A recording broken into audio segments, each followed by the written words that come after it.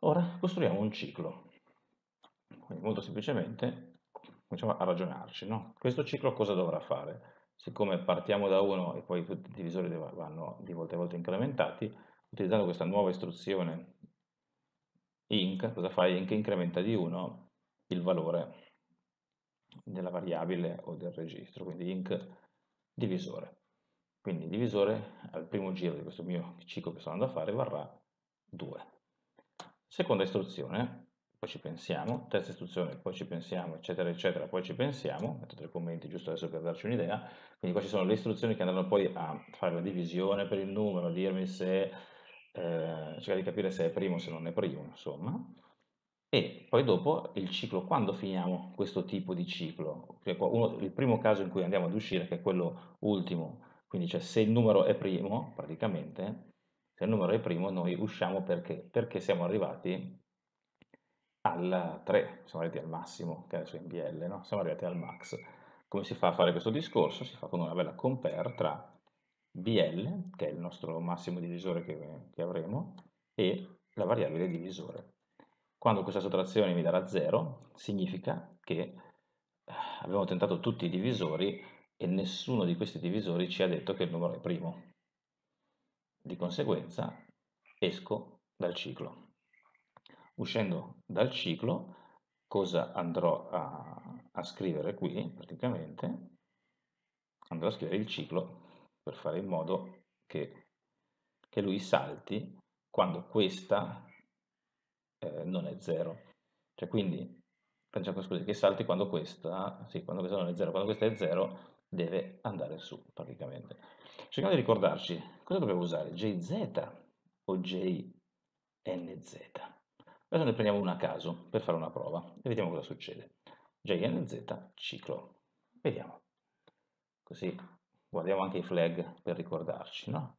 Flag a vista, perfetto single step, single step, partiamo da qua, questa parte l'abbiamo vista prima, vado oltre, ripartiamo da qua. In BL abbiamo il valore 3, che è il massimo che dobbiamo raggiungere. Adesso il divisore, ve lo faccio vedere con vars, il divisore in questo momento è 1, questo qua. Perfetto, prossima istruzione, incremento il divisore.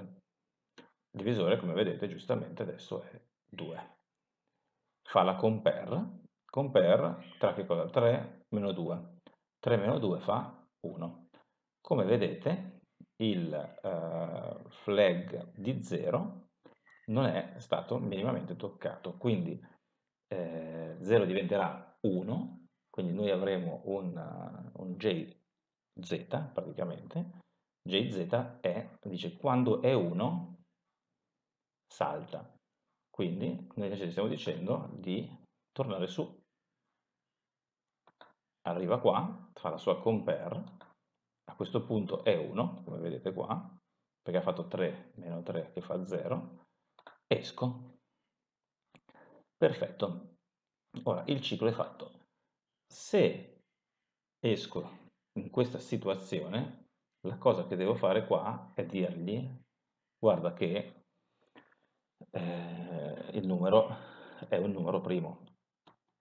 Come si fa a dirglielo? rubiamogli questa, siccome queste tre istruzioni, proprio così come sono scritte, adesso copiamole così, ignorandone il significato che lo vedremo più avanti, però questo mi dice stampa video una stringa, la stringa è quella di pkey, quindi in pkey io adesso metterò questa frase, e la frase che vado a metterci è il numero è primo, così, il numero è primo, perfetto, e eh, vediamo cosa succede ora. Quindi questo qua, adesso invece che output string, scriverò output numero primo.